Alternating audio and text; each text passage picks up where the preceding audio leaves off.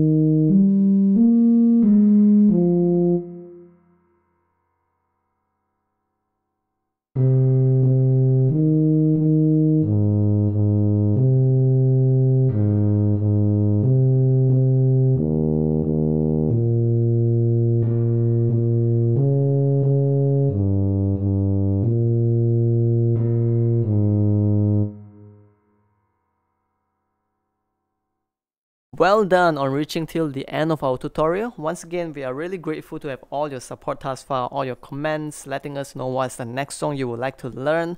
Your like, your subscribe, all of them means a lot to us. Thank you.